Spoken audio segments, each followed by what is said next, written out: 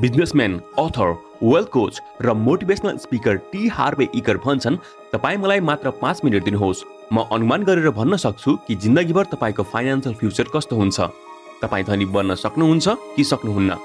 तर यी कुरा यति ठुकुवाका साथ किन भन्न सक्छन् भने उनले वर्षौँसम्म मिलिनियर र बिलिनियर अनि सक्सेसफुल व्यक्तिको साइकोलोजी माइन्डसेट ह्याबिट र लाइफलाई स्टडी गरेका थिए जसलाई उनले आफ्नो पुस्तक सिक्रेट अफ मिलिनियर माइन्डसेटमा बुझाउने कोसिस गरेका छन्। यो विश्वकै बेस्ट मनी म्यानेजमेन्ट र पर्सनल फाइनेन्स बुक मध्ये एक मानिन्छ। किनकि लेखकले यस बुकमा मनी ब्लु प्रिन्ट र सेभेन्टिन वेल्थ फाइलका बारेमा भनेका छन् ताकि हामीहरू पनि धनी मानिसको माइन्डसेट र साइकोलोजीलाई बुझौँ। धनी र सफल बन्ने इच्छा साँच्चैमा पुरा गर्न सकौँ र त्यसलाई उनले आफैले फलो गरेर आफू पनि मिलिनियर बनेका छन्। त आउनुहोस् साथीहरू जानौ ती वेल्थ ब्लु प्रिन्ट र सेभेन्टिन वेल्थ फाइलका बारेमा जसले हामीलाई धनी र सफल बनाउँछन्। साथै तपाईँहरू कमेन्ट बक्समा कमेन्ट गरेर जरुर भन्नुहोला। यी सेभेन्टिन वेल्थ फाइलमध्ये तपाईँहरूमा कुन कुन ह्याबिट अलरेडी छन् र तपाईँले नयाँ के सिक्नुभयो? त टी हार्वे इकर सुरु गर्छन् एक वेल्थ प्रिन्सिपलका साथमा र त्यो हो टिएफएआर टीको मतलब थट्स एफको मतलब फिलिङ्स एको मतलब एक्सन र आरको मतलब रिजल्ट यानि कि हाम्रो थट्सले हाम्रो फिलिङ्सलाई जन्माउँछन्। हाम्रो फिलिङ्सले हाम्रो एक्सनलाई र हाम्रो एक्सनले डिसाइड गर्छ इन रिजल्टलाई यसलाई सही तरिकाले बुझौँ। कसरी थट्स र फिलिङ्स हाम्रो एक्सन र रिजल्टलाई असर गर्छन्? यदि तपाईँ पैसा सेभ वा इन्भेस्ट मात्र यो विचारले गरिरहनु भएको छ कि पैसा हाम्रो अप्ठ्यारो समयमा काम लाग्छ भने तपाईँ त्यसै गरी एक्सन लिनुहुन्छ पैसा पनि त्यति नै कमाउनुहुन्छ र सेभिङ पनि त्यति नै गर्नुहुन्छ। मात्र एक डरको फिलिङका साथ त लास्टमा रिजल्ट के होला? त्यो खराब समय अवश्य आउँछ। तर त्यही तपाईँ धनी बन्ने र सम्पत्ति बनाउने विचारका साथ एक्सन लिनुहुन्छ भने तपाईँ सानो तरिकाले सोच्नुहुन्न। तपाईँ एक्सन पनि त्यति नै ठुलो लिनुहुन्छ र त्यति नै ठुलो मात्रामा पैसा कमाउनुहुन्छ पनि। रिजल्टमा तपाईँलाई वेल्थ सक्सेस र फाइनेन्सियल फ्रिडम मिल्छ। खासमा धनी मानिस ती चिजमा फोकस गर्छन् जो उनीहरू चाहन्छन्। तर गरिब मानिस भने ती कुरामा फोकस गर्छन् जो उनीहरू चाहँदैनन्। लेखक भन्छन् यी दुई अलग अलग तरिकाको सोच हाम्रो मनी ब्लु प्रिन्टले इन्फ्लुएन्स यानि कि प्रभावित हुन्छ। मनी ब्लु प्रिन्ट तपाईँले लगाएको फाइनेन्सियल रुखको जरा जस्तै हुन्छ जसले डिसाइड गर्छ कि कसरी र के फल फल्छन् भनेर। फलको मतलब हो रिजल्ट लेखकका अनुसार हाम्रो फाइनेन्सियल माइन्डसेट र मनी ब्लु प्रिन्ट यी तिन क्षेत्रमा इन्फ्लुएन्स हुन्छ। पहिलो हो भर्बल प्रोग्रामिङ यानि कि पैसा र धनी मानिसका बारेमा तपाईँ आफ्नो आसपासका मानिस इन्भाइरोमेन्ट र फ्यामिलीबाट सुन्नुहुन्छ। त्यसले तपाईँको माइन्डसेटलाई कन्डिसन गर्छ जस्तो कि गरिब अभिभावक भन्छन् कि धेरै पैसा यी सारा समस्याको जड हो। कोही पनि मानिस छोटो समयमा गलत काम नगरी पैसा कमाउन सक्दैन। या धनी मानिस लालची र सेल्फिस हुन्छन् भन्नु। यी सबै थट्स हाम्रो प्यारेन्ट्सले आफ्नो शब्द र कुराले अनकन्सियसली दिमागमा राखिदिन्छन्। तर यसको मतलब यो होइन कि गरिब अभिभावक खराब हुन्छन् वा उनीहरू हाम्रो बारेमा खराब सोच्छन् खासमा उनीहरूले यसो भन्नुको कारण यी विचार एक समयमा उनीहरूका आसपासका मानिस र उनीहरूका अभिभावकले उनीहरूको माइन्डमा भरिदिएका थिए। तर त्यही धनी अभिभावक बच्चाहरूलाई पैसा र जीवनका बारेमा बिल्कुल अलग कुरा सिकाउँछन्। र तपाईँको बाहिरको दुनियाँ तपाईँको भित्र चल्नेवाला सोच र बानीको नै रिजल्ट हो। दोस्रो हो मोडलिङ। जसरी हामी बचपनबाटै आफ्नो प्यारेन्ट्स र आसपासका मानिसबाट सिक्छौँ कि उनीहरू कसरी पैसा खर्च गर्छन् कसरी जिन्दगी जिउँछन् त्यही कन्डिसनिङ र संस्कार हाम्रो पैसा सम्बन्धी ह्याबिट सक लाइफस्टाइल र एक्सनलाई कन्ट्रोल गर्दछ। बचपनदेखि युवा अवस्थासम्म कन्डिसन गर्दछ। तर राम्रो कुरा यो छ कि यदि कोही आफ्नो गरिबी परिवर्तन गर्न चाहन्छ भने उसले आफ्नो सोच र माइन्डसेटलाई चेन्ज गरेर गर्न सक्छ। एक भनाइ छ मङ्की सी मङ्की डु र तेस्रो हो स्पेसिफिक इन्सिडेन्ट कुनै स्पेसिफिक पोजिटिभ र नेगेटिभ घटना सिचुएसन वा इन्सिडेन्ट जस्तो कि तपाईँको परिवारको फाइनेन्सियली खराब समय गरिबी र कठिनाइबाट गुज्रनु र यी सबै देखेर तपाईँलाई पैसाको इम्पोर्टेन्स थाहा भयो र तपाईँले ठान्नुभयो कि म खुब पैसा कमाउँछु ताकि मैले र मेरो परिवारले फेरि त्यही सिचुएसन देख्नु नपरोस्। हेर्ने हो भने खासमा आजकल सबैले पैसा कमाउन चाहन्छन् र पैसा कसलाई मन नपर्ला र तर सेल्फ मेड मिलिनियर ती मानिस बन्छन् जो यी अब भनिने सेभेन्टिन वेल्थ फाइललाई फलो गर्छन्। किनकि यिनै सेभेन्टिन वेल्थ फाइल सो गर्छन् कि रिच र पुवर माइन्डसेटवाला व्यक्तिमा कति धेरै फरक हुन्छ। त सुरु गरौँ वेल्थ फाइल नम्बर वान। धनी मानिस आफ्नो जीवन आफैले कन्ट्रोल र क्रिएट गर्नमा विश्वास राख्छन् तर गरिब मानिस जीवनले जता लग्यो उतै जान्छन्। Wealth file number two. धनी मानिस पैसाको खेल जित्नका लागि खेल्छन् तर गरिब मानिस पैसाको खेल कतै हार्नु नपरोस् भन्दै खेल्छन्। यानि कि धनी मानिस अरू धेरै पैसा कमाउन चाहन्छन् तर गरिब मानिस पैसा बचाउने र कुनै रिस्क नलिनमा। वेल्थ फाइल नम्बर थ्री धनी मानिस धनी बन्नमा प्रतिबद्ध हुन्छन् तर गरिब मानिस मात्र धनी बन्न चाहन्छन्। मतलब धनी मानिस म धनी बनेरै छोड्छु चाहे जे होस् भन्ने सोच राख्छन् त्यसैले साथीसँग पार्टी गर्नु छोडेर दिनरात आफ्नो बिजनेसमा काम गर्छन् र उनीहरू हर सम्भव कोसिस गर्छन् जसले उनीहरूलाई धनी बनाओस्।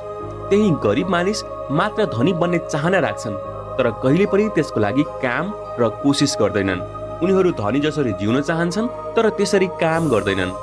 वेल्थ फाइल नम्बर फोर धनी मानिस ठुलो र दूरदृष्टि राख्छन् साथै कम्फर्ट जोनभन्दा बाहिर रहन्छन्। तर पुवर माइन्डसेटवाला मानिस सानो सोच राख्छन् त्यसैले उनीहरूको सोच लिमिटेड हुन्छ र उनीहरू आफ्नो लिमिटेड कम्फर्ट जोनमा जिउँछन्। यदि तपाईँको गोल कम्फर्टमा जिउनु हो भने धेरै चान्स छ कि तपाईँ कहिले पनि धनी बन्न सक्नुहुन्न। तर तपाईँको गोल धनी बन्ने हो भने अहिले निकै मेहनत गर्नुहोस्। अगाडि गएर तपाईँ कम्फर्ट लाइफ जिउन सक्नुहुन्छ। यदि तपाईँ सजिलो काम गर्न चाहनुहुन्छ भने तपाईँको जिन्दगी मुस्किल हुन्छ। तर यदि तपाईँ आज मुस्किल काम गर्न चाहनुहुन्छ भने जिन्दगी अगाडि सहज हुन्छ। Next wealth file number five धनी मानिस अपर्च्युनिटिज र सोल्युसनमा फोकस रहन्छन्। गरिब मानिसको जस्तो समस्या चुनौती र कठिनाइमा होइन। वेल्थ फाइल नम्बर सिक्स धनी मानिसहरू अरू धनी र सक्सेसफुल व्यक्तिलाई मन पराउँछन्। तर त्यही गरिब मानिसहरू धनी मानिसको बारेमा गलत सोच र भावना राख्छन् र मन पराउँदैनन्। उनीहरू यस्तो भनिरहन्छन् यी धनी मानिस त खालि पैसाको आफन्ती हुन्छन्। यी धनी मानिस गलत काम गरेर पैसा कमाउँछन्। अझ भन्दा त पैसाले नै सबै समस्या ल्याएको हो।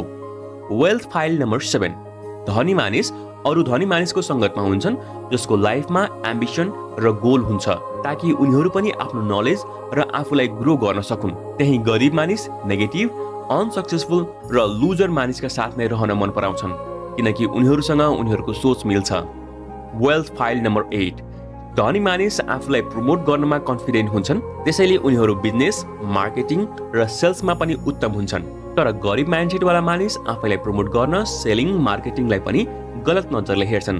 त्यसैले यदि उनीहरूभन्दा धेरै ज्ञान भएको व्यक्ति पनि कुनै प्रोडक्टको बारेमा भन्दैछ भने पनि त्यसलाई गलत नजरले हेर्छन् र सोध्छन् कि यसले मात्र पैसा चाहन्छ जबकि अगाडिको व्यक्ति भ्यालु दिएर भ्यालु एड गर्न चाहन्छ र ऊ आफ्नो सर्भिसमा कन्फिडेन्ट पनि छ।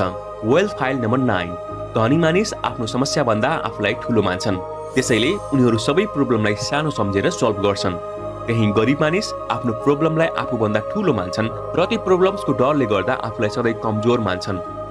वेल्थ फाइल नम्बर टेन धनी मानिस यस कुरामा विश्वास गर्छन् कि उनीहरूलाई जे मिल्नु पर्थ्यो त्यो तिनीहरू डिजर्भ गर्छन्। चाहे त्यो कम्प्लिमेन्ट बिजनेस प्रफिट या रेस्पेक्ट नै किन नहोस्। त्यही गरिब मानिस ब्याड रिसिभर हुन्छन्। यानि कि लो सेल्फ स्टिमका कारण उनीहरूलाई लाग्छ कि उनीहरू केही पनि ठुलो कुराको भागीदार हुन सक्दैनन्। इभन कोही उनीहरूलाई तारिफ गरोस् तब कम्प्लिमेन्ट कसरी ह्यान्डल गर्ने थाहा नै हुँदैन because of low self esteem wealth file number eleven धनी मानिस रिजल्टका बेसमा काम चुज गर्छन् तर त्यही गरिब मानिस आफ्नो टाइमका बेसमा काम चुज गर्छन्. Next wealth file number twelve गरिब मानिस सोध्छन् कि हामी सबै पाउन सक्दैनौँ। केही पाउन केही गुमाउनु पर्छ या त हामी काममा फोकस गर्न सक्छौँ या त फ्यामिलीमा त्यही धनी मानिस डिफ्रेन्ट अप्सन र चिजलाई ट्राई र म्यानेज गर्न मन पराउँछन्। मतलब उनीहरू आफ्नो फ्यामिली र प्रोफेसनल लाइफलाई म्यानेज गर्नमा कुशल हुन्छन्। साथै डिफ्रेन्ट अप्सन ट्राई गर्न डराउँदैनन्। वेल्थ फाइल नम्बर थर्टिन धनी मानिस आफ्नो नेटवर्कमा फोकस गर्छन्। यानि कि उनीहरू यस्तो तरिकाले हेर्छन् कि ओभरअल एसेट सेभिङ र इन्भेस्टमेन्टलाई जोडेर अहिले नेटवर्थ कति छ। त्यही गरिब र मिडल क्लास मानिस आफ्नो सेभिङ र इन्कममा फोकस गर्छन्। वेल्थ फाइल नम्बर फोर्टिन धनी मानिस आफ्नो पैसालाई राम्रोसँग म्यानेज गर्न जान्दछन् र यो स्किल फाइनेन्सियल बुक र इन्टरनेटको मद्दतले सिक्छन्। तर त्यही गरिब मानिस पैसालाई खर्च र वेस्ट गर्नमा माहिर हुन्छन्। उनीहरू यस्तो आफ्नो आसपासका मानिस सेलिब्रिटिज र टिभी सोबाट प्रभावित हुन्छन्। Wealth file number fifteen.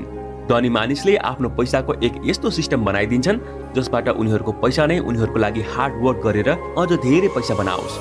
तर त्यही गरिब मानिस पैसा कमाउनको लागि जिन्दगीभर हार्ड वर्क गर्छन्। Next wealth file number sixteen धनी मानिस डर भए पनि काम गर्छन्।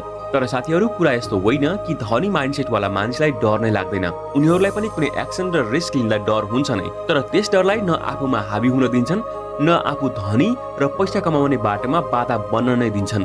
केही गरिब मानिस डरको कारण कुनै एक्सन लिन सक्दैनन् र उनीहरूको यही डर उनीहरूको इच्छा सपना र आकाङ्क्षा भन्दा ताकतवर हुन्छ। र अन्त्यमा वेल्थ फाइल नम्बर सेभेन्टिन धनी मानिस केही न केही सिकिरहन्छन् र अगाडि बढिरहन्छन्। त्यही पुवर माइन्डसेटवाला मानिसलाई लाग्छ कि उनीहरूलाई सबै आउँछ र जान्दछन्। र साथीहरू जो मानिस सोध्छ कि उसलाई सबै आउँछ यस्तो मानिस कहिले अगाडि बढ्न सक्दैन। किनकि उसले नयाँ जान्ने र सिक्ने प्रक्रियालाई बन्द गरिसकेको हुन्छ। त्यसैमा ऊ आफ्ना लिमिटेड बिलिभ्सका सहारामा बाँचिरहेको हुन्छ। त साथीहरू यदि यो भिडियो मन परेमा लाइक र सब्सक्राइब बटनमा क्लिक गरेर यस च्यानललाई ग्रो गर्नमा सपोर्ट गर्नुहोस्। बेल नोटिफिकेसन अन गर्नुहोस् ताकि आउने नयाँ भिडियो मिस नहोस्। र साथै यदि तपाईँ चाहनुहुन्छ कि कुनै टपिक वा बुकका बारेमा भिडियो बनाओस् भने प्लिज कमेन्ट बक्समा लेख्नुहोला। हामी त्यसमा भिडियो बनाउने कोसिस गर्नेछौँ। Thank you for watching